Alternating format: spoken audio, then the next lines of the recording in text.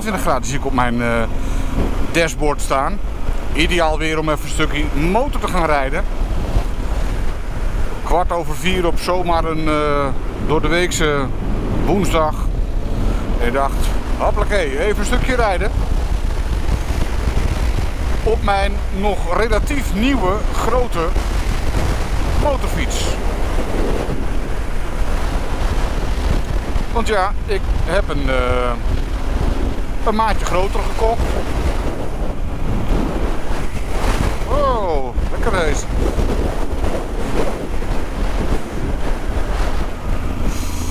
Ik was namelijk uh, fanatiek begonnen met afvallen. En dan, nou, ja, ik ben best goed bezig op mijn manier. Alleen, ja, het, het afvallen gaat toch niet zo heel erg snel. En dan kun je natuurlijk twee dingen doen. Dat is op een kleine motor rond blijven rijden. Maar je kan ook gewoon een uh, grotere motor kopen. Dan uh, valt het uh, tegenvallende afvallen ook een beetje mee. Ik heb gekozen voor het laatste. Om gewoon een wat grotere motorfiets aan te schaffen. En ik moet je zeggen, ik ben er eigenlijk wel heel erg blij mee. Dit is een Yamaha XT1200 en ik kom van een uh, 700cc motor. Dus oh.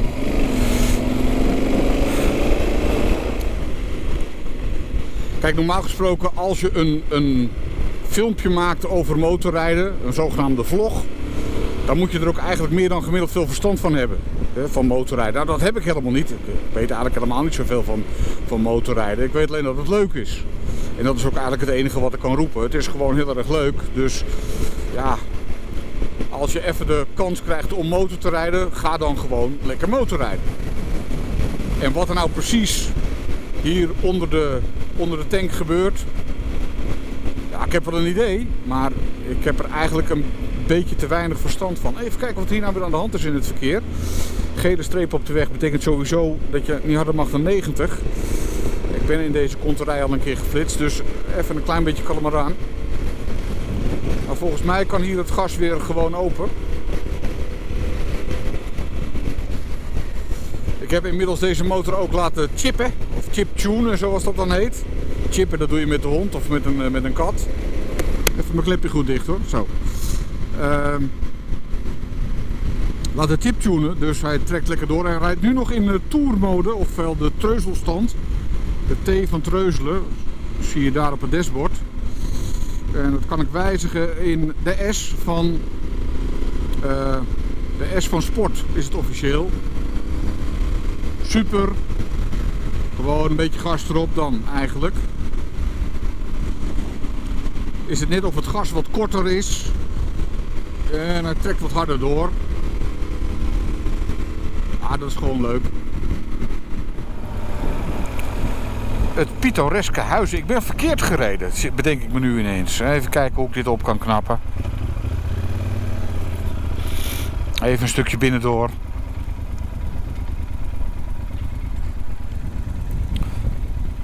Ik heb ooit op dit punt stilgestaan met mijn brommertje.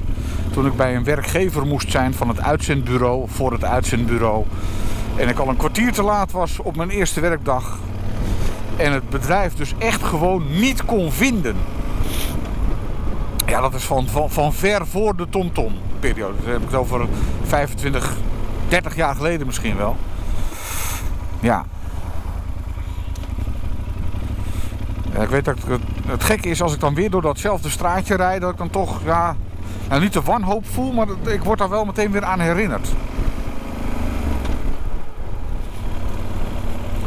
Zo lekker even aan het spelen met allerlei digitale knopjes in deze grote brommer, of op deze grote brommer. Rijd ik over een hobbelig weggetje. Ah, kan de vering even wat soepeler zetten. Altijd leuk natuurlijk. Terwijl je rijdt, zet je gewoon de vering wat, uh, wat soepeler. En dan kan je wat beter door alle kuilen en zo karren.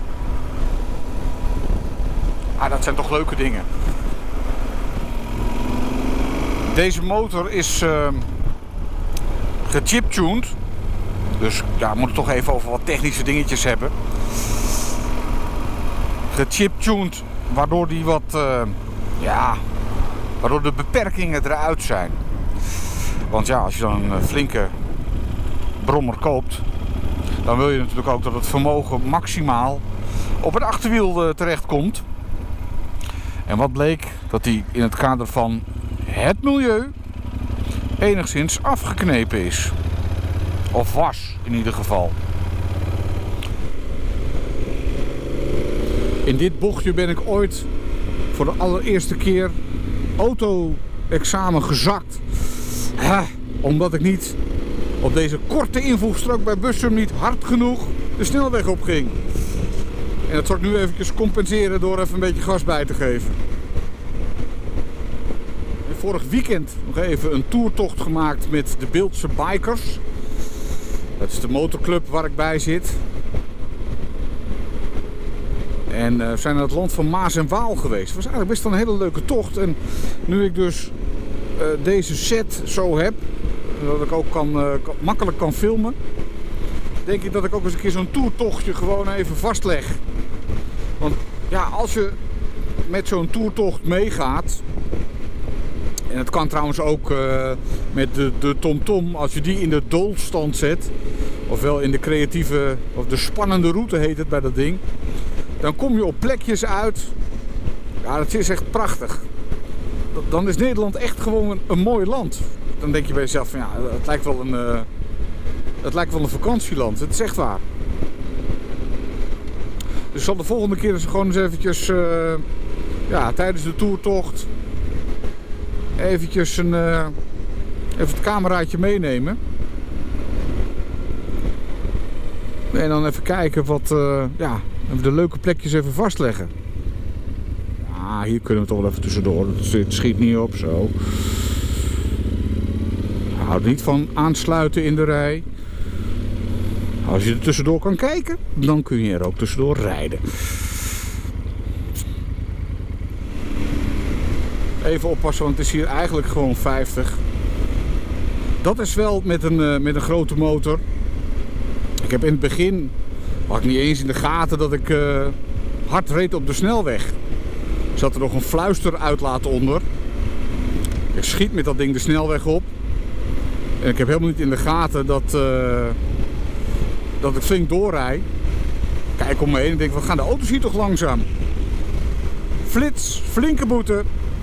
Ik heb in de eerste week dat ik dit ding had, ja, durf het bijna niet hardop te zeggen, maar toch voor een slordige 500 euro boetes, snelheidsovertredingen gekregen.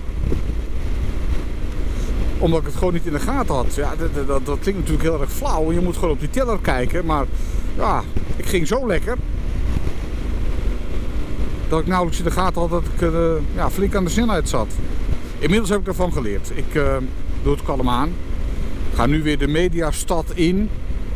Nou, laat, zal even laten zien dat ik dus echt wel keurig kan rijden. Daar in de verte komt zo'n bord aan met 51, 50. Kijk eens, netjes. Ja, zelfs tussen nauwe straatjes, of zelfs in nauwe straatjes, kan ik dus gewoon keurig rijden.